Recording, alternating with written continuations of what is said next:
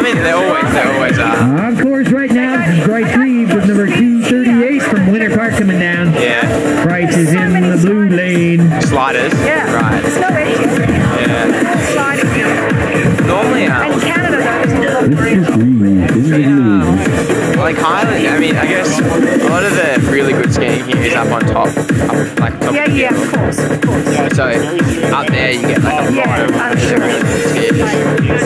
but down the bottom here is more normal, like yeah, stuff, a lot, a lot easier, yeah. easier terrain. But Highlands is a pretty gnarly mountain. Great trees, great winter.